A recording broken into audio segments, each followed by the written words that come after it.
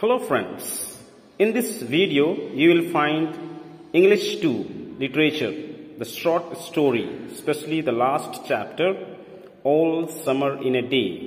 You will find in this video MCQ, multiple choice questions, as well as PDF file, especially for the long question answers. So subscribe the channel and download the PDF file and prepare well for your second semester board examination.